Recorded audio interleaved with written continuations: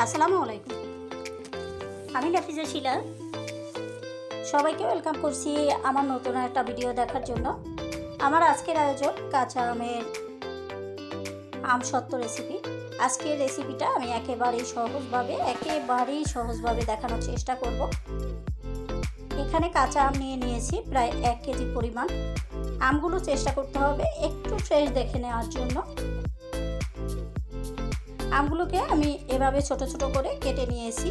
কাটাটা আমি আর দেখাইনি কারণ আম কাটতে কিন্তু কম বেশি আমরা সবাই পারি। এবার আমি এই আমগুলোকে সেদ্ধ করতে নিয়ে যাব আর এই জন্য আমি একটা প্যান নিয়ে নিয়েছি এখানে।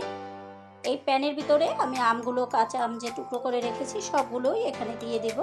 এখানে আপনারা চাইলে কিন্তু আমটাকে একেবারেই ঝুড়ি করেও কেটে নিতে পারবেন বা এরকম করে নিলেও হবে। এটা এমনিতেই সেদ্ধ হয়ে যাবে, যেহেতু কাঁচা আম। এবার আমি এক কাপ পরিমাণ পানি দিয়ে দিয়েছি। আপনারা যদি চান যে না, পানি ছাড়াই এটাকে সেদ্ধ করবে তাও হবে। তবে পানি দিয়ে দিলে সেদ্ধটা ভালো হবে। এবার চুলোতে আমি বসিয়ে দেব। এখানে কোনো প্রকার কোনো কিছুই দেইনি আমি। আপনারা চাইলে হলুদ বা লবণ দিয়ে কাজটা করতে পারবেন।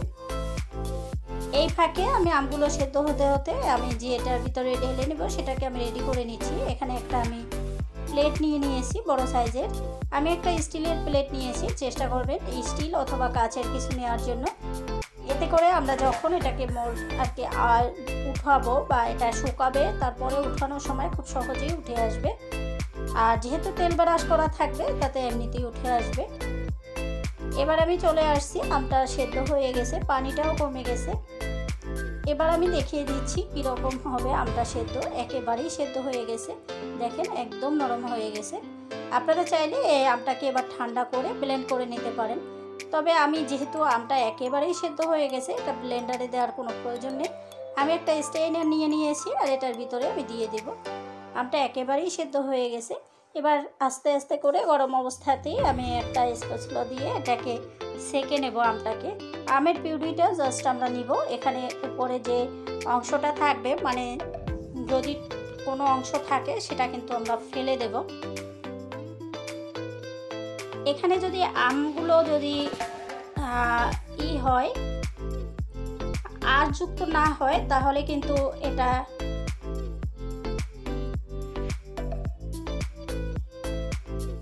এমনিতেই ই হবে। আমার এখানে আমগুলো খুব একটা আশ ছিল না। ব্যাস, এটা আমি সবগুলো আম এখানে সেকে নিয়েছি।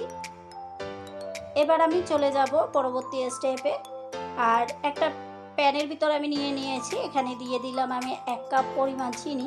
এখানে চিনি পরিমাণ বুঝে দিবেন। এখানে মরিচের গুঁড়ো দিয়ে দিলাম আমি হাফ চামচ পরিমাণ। আর এখানে দিয়ে দিলাম গরম মশলার গুঁড়ো হাফ চামচ পরিমাণ। আর এখানে দিয়ে দিব আমি লবণ। বিট লবণ দিয়েছি আর আমি দিয়ে দিব গরম মশলা আমি এখানে দিয়ে দিয়েছি গরম মশলা, মরিচের গুঁড়ো আর দিয়ে দিয়েছি পাঁচফোড়ন। মানে পাঁচফোড়ন বলতে আচারের যে মশলাটা। এবার সবটাকে খুব সুন্দর করে মিশিয়ে নিয়েছি। এবার চুলোতে বসিয়ে দেব। আর চুলোতে বসিয়ে দেওয়ার সময় অবশ্যই চুলা রাসটা মিডিয়ামে রেখে তারপরে এটাকে আস্তে আস্তে করে দিতে হবে। চেষ্টা করবেন একটা ডিপ কোনো হাঁড়িতে নেওয়ার জন্য। এতে করে খুব সহজেই এটা হবে। কারণ এই আমটা যখন ফুটতে শুরু করবে, তখন কিন্তু গায়ে ছিটে আসার সম্ভাবনা থাকে। তাই চেষ্টা করবেন ডিপ কোনো হাঁড়িতে নেওয়ার জন্য। আমি চুলা রাসটা মাঝারি করে তারপর আস্তে আস্তে এটাকে সময় নিয়ে জ্বালিয়ে নেব। কারণ হাই হিটে দিলে এটা কিন্তু অনেক বেশি ফুটে আর এটা ছিটে আসে। অনবরত নেড়ে নেড়ে এই কাজটা করতে হবে। আর ততক্ষণ আমরা রান্না করব, যতক্ষণ না কালারটা চেঞ্জ হয়ে যায়। নাড়তে হবে কিন্তু এটা নাড়ে, নেড়ে নেড়েই কাজটা করতে হবে। নিচে থেকে যদি লেগে যায়, সেক্ষেত্রে কিন্তু এটা একদমই ভালো হবে না। গন্ধ হয়ে যাবে, বাজে গন্ধ। ব্যাস, হয়ে গেছে। এবার অনবরত নাড়তে থাকব এটাকে।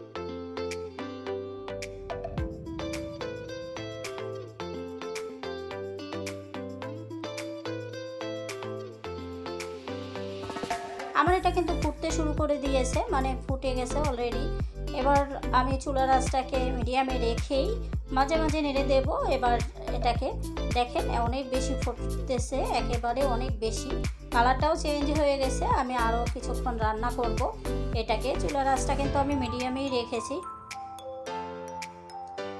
অনেক ঘন হয়ে গেছে আরও আমি এখানে পাঁচ থেকে সাত মিনিট ফুটাবো এটাকে মানে রান্না করব। তারপর আমি চুলাটা বন্ধ করে দিব। খুব সুন্দর একটা ঘনত্ব আসছে আর দেখতেও ভালো লাগছে, কালারটাও খুব সুন্দর আসছে। এবার আমি আরও পাঁচ সাত মিনিট ফুটাবো, তারপরে এটাকে চুলাটা বন্ধ করে দিয়ে একটু ঠান্ডা করে নিব। দেখেন আমি দেখিয়ে দিচ্ছি একটু। আর আমি সব চেক করে নিলাম সব কিছুই ঠিকঠাক আছে। এর চেয়ে আর কোনো কিছুই প্রয়োজন নেই। এবার আমি চুলাটা বন্ধ করে দিব, পাঁচ সাত মিনিট রেখেছিলাম, এবার চুলাটা বন্ধ করে দিব। আর যে প্লেটটা আমরা রেডি করে রেখেছি, সরাসরি সেখানে ঢেলে দেব।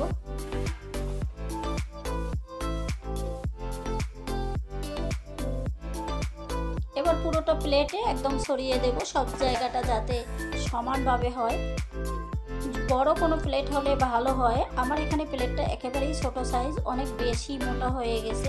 যাই হোক তারপরেও এটা রোদে শুকানোর যদি ব্যবস্থা থাকে, অবশ্যই শুকাবেন। আমি চুলার নিচে রেখে দেব। আর ফ্যানের নিচে রেখেই আমি এটাকে শুকিয়ে নেব। আমি এখানে টোটাল চার দিন আমি ফ্যানের নিচে আর চুলোতে শুকিয়ে নিয়েছি। কারণ যেহেতু আমার ফ্যানের নিচে আর চুলোতে ছিল, তাই আমার এতটা সময় লেগেছে। যদি আপনারা রোদে শুকান, তাহলে কিন্তু সহজেই শুকিয়ে যাবে। এটাকে আমি এখন আমার সাইজ মতো কেটে নেব। যেহেতু আমার বাসায় লাইনের গ্যাস না, এটা সিলিন্ডারের গ্যাস, তাই আমি কিন্তু সবসময় গ্যাস জ্বালিয়ে রাখতেও পারিনি। যখন রান্না করেছি তখনই জ্বালিয়ে রেখেছিলাম। আর তাতেই আমার এতটা সময় লেগেছে, না হয় আরও কম সময়ই হয়ে যেত এটা। এবার আমরা আমাদের পছন্দ মতো কেটে নেব।